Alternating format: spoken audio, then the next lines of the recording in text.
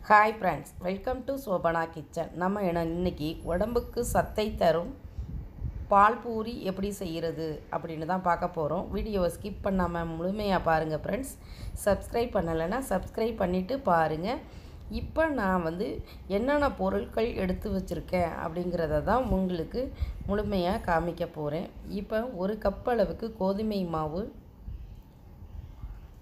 ஒரு பத்து பதினைந்து பாதாமை வந்து ஊற வச்சு தோல் நீக்கி எடுத்து வச்சுருக்கேன். குங்குமப்பூ சிறிதளவு தேவைக்கேற்ப சுகர் பால் ஒரு லிட்டர் சால்ட்டு சிறிதளவு. இப்போ நான் எடுத்து வச்சுருக்க கோதுமை மாவு ஒரு கப்பையும் ஒரு பவுலில் நம்ம இப்போ சேர்த்துக்குவோம். சேர்த்தாச்சு. தேவைக்கேற்ப சால்ட்டு கலந்துக்குவோம். கலந்துட்டு தண்ணி ஊற்றி தேவைக்கேற்ப நல்லா பிணைஞ்சி எடுத்துக்குவோம். ச சப்பாத்தி மாவு பதத்துக்கு நான் இப்போ பிணைஞ்சி எடுத்து வச்சுட்டேன்.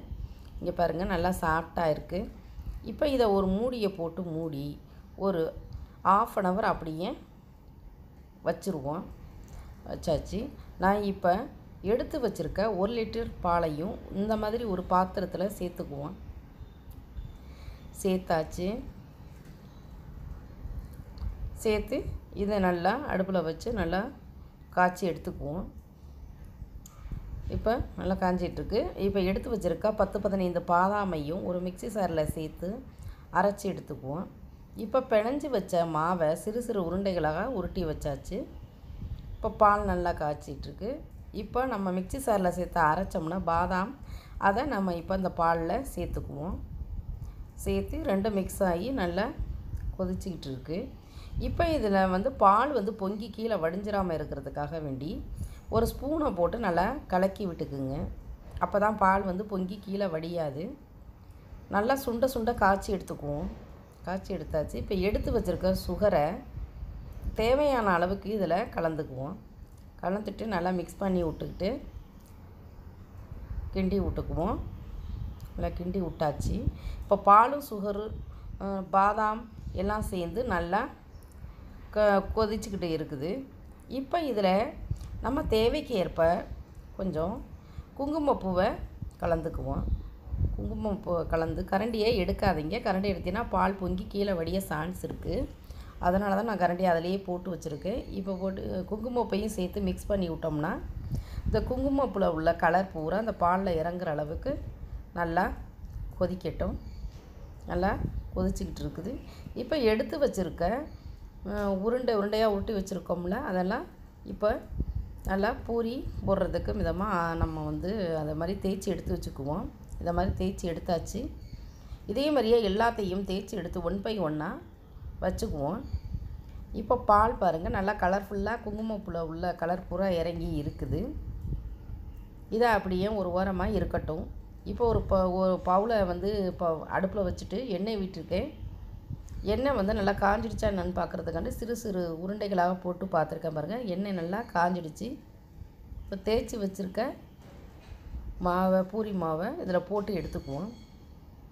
பாருங்கள் பூரி நல்லா உப்பி வருது. நல்லா வரட்டும். இப்போ ரெண்டு பக்கட்டும் திருப்பி போட்டு நம்ம பொரித்து எடுத்துக்குவோம். இப்போ ரெடி ஆயிடுச்சு. இதை இப்போ வந்து ஒரு பாத்திரத்தில் சேவ் பண்ணிவிட்டு நெக்ஸ்ட்டு ஒன்று போட்டு எடுத்துக்குவோம். இதை மாதிரி ரெண்டு மூணு ட்ரிப்பு போட்டு ஒன் பை ஒன்னாக சேவ் பண்ணிக்குவோம். இப்போ நெக்ஸ்ட்டு ஒன்று அடுத்ததும் இன்னும் ஒன்று நான் வந்து போடுறேன் பாருங்கள் அதுவும் நல்லா பொறிஞ்சு வரும். இந்த மாதிரி ரெண்டு மூணு ட்ரிப்பு போட்டு எல்லாத்தையும் சேவ் பண்ணி வச்சுக்கிட்டு நல்லா பொறிஞ்சு வருதா அப்படின்னு பார்த்துக்குங்க. நல்லா சாஃப்டாக இருக்கும். இப்போ இதையும் நம்ம வந்து ஒரு பாத்திரத்தில் சேவ் பண்ணிக்குவோம். நான் ரெண்டு மூணு தடவை போட்டு இந்த பூரியை நான் வந்து பொறிச்சு ஒரு பா பாத்திரத்தில் நான் வந்து சேவ் பண்ணிக்கிட்டேன். இதே மாதிரியே சேவ் பண்ணிவிட்டு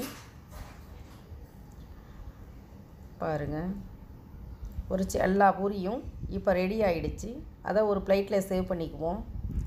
ஒன் பை ஒன்றா எடுத்து சேவ் பண்ணிட்டேன். பாருங்கள் இப்படி அழகாக சேவ் பண்ணிக்கோங்க.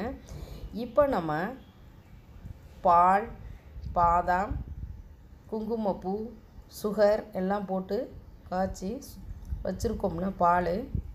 இந்த பாலை இப்போ வந்து அந்த பூரியில் சேர்த்துக்குவோம். பூரி மேலே ஊற்றி நல்லா ஊற வச்சுக்குங்க. மிகவும் செம்ம டேஸ்ட்டாக இருக்கும். இது வந்து எல்லாருமே விரும்பி சாப்பிடுவாங்க. சத்தானது கூட. பாதாம் எல்லாம் சேர்த்துருக்கிறதுனால உடம்புக்கு ரொம்ப ஹெல்த்ஃபுல்லாக இருக்கும். அதனால் இந்த மாதிரி செஞ்சு சாப்பிட்டு வாங்க ஃப்ரெண்ட்ஸ் செஞ்சு சாப்பிடவும் மறந்துடாதீங்க இதை பிடிச்சிருந்தா லைக் பண்ணுங்கள் ஷேர் பண்ணுங்கள் கமெண்ட் பண்ணுங்கள் சப்ஸ்கிரைப் பண்ணுங்கள் bye bye friends thanks friends